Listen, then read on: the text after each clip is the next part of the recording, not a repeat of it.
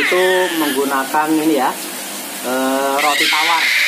Nah ini, jadi di samping pisang ini, pisang kepok, juga ada roti tawarnya ini, roti tawarnya guys. Enak, gurih, manis. Hmm. Yang tak yang tak kalah penting itu harganya murah, apalagi sekarang BBM lagi naik ya. Jadi pinter-pinter kita mencari mensiasati ya pengeluaran.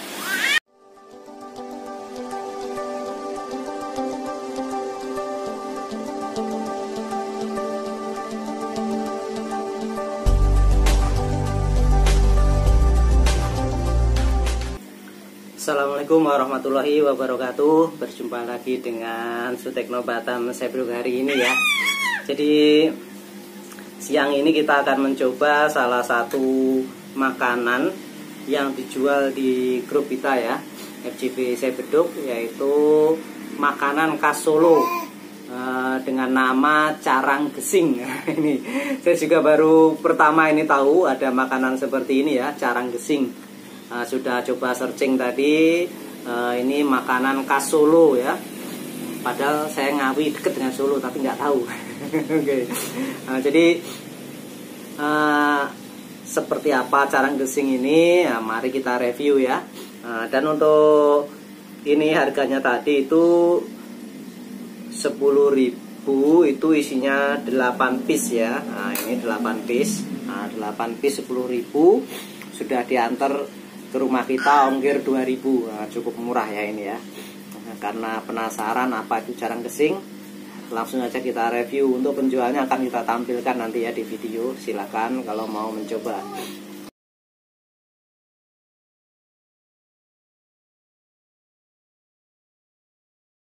Oke kita tes dulu satu. Nah, seperti apa sih dalamnya ya? Carang gesing. Oh ini guys nah ini carang gesing itu seperti ini ternyata ya. Nah ini, nah, ini ya. Jadi ini cara gesing pisang kepok katanya ya pisang kepok. Nah, jadi setelah tadi coba searching searching nah, jadi pembuatannya ini menggunakan eh, santan ya jadi santan tepung eh, garam kemudian eh, telur eh, pakai telur ini ya santan diaduk baru dipotongi dengan isiannya pisang kepok ya kemudian dibungkus dengan daun pisang dan dikukus. Uh, oke. Okay. udah penasaran ini ya seperti apa rasa dari carang gesing ini? Ya ya oke. Okay, Bismillahirrahmanirrahim. Oh ini ya nah ini ya. Seperti ini ya. Ini teksturnya kenyal ini ya. Kenyal. Hmm, ini dari bentuknya udah kelihatan kalau ini bakalan legit nampaknya ya. Nah ini. Seperti ini. Oke. Okay. coba. Bismillahirrahmanirrahim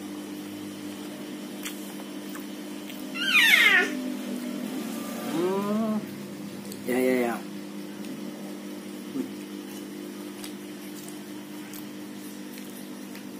hmm. Jadi ini seperti kurang lebih seperti nogosari ya. Nah, cuma ini lebih terasa santannya karena pakai santan ya. Terus manisnya juga hampir mirip-mirip lah. Cuma kalau nogosari dia lebih lembut ya. Nah, kalau ini agak kenyal-kenyal. Hmm. Manis. Hmm. enak ini cocok ini ya untuk teman ngopi cocok ini apalagi hujan-hujan nih ya lagi musim hujan di Batam.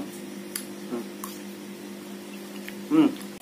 nah oke okay guys. Ini jadi carang gesing ini kata penjualnya tadi itu menggunakan ini ya e, roti tawar. Nah ini. Jadi di samping pisang ini pisang kepok juga ada roti tawarnya ini roti tawarnya guys. Hmm, oke. okay.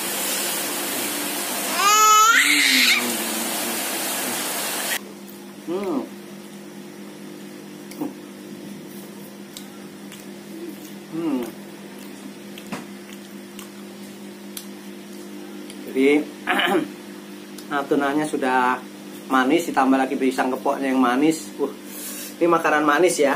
Hmm. Nah, cobain lagi enak. Kita tes lagi. Kurang satu ya. Hmm. Hmm, seperti ini. Dan ini porsinya cukup besar. Jadi hitungannya kalau seribu ya seribu sekian ya. Ini udah murah sekali. Nah, silahkan dicoba. Ini nampaknya makanan tradisional yang hampir uh, kurang pemberitaan nampaknya ya. Karena belum tahu kalau ada makanan seperti ini. Oke. Okay. hmm. hmm. Mantep ini asli. Mantep. Coba aja bakalan nggak nggak rugi lah ini. Kalau yang penyuka manis ya yang suka makanan manis ini recommended sekali. Enak gurih manis. Hmm yang tak yang tak kalah penting itu harganya murah apalagi sekarang BBM lagi naik ya jadi pinter-pinter kita mencari mensiasati ya pengeluaran ini asli enak hmm. Hmm. Hmm. Oke, okay, mungkin review kami sampai di sini saja. Uh, kalau ada yang kurang dari yang kami review silahkan berkomentar ya. Nah, untuk penjualnya akan kita tampilkan di video. Silahkan aja Japri ya.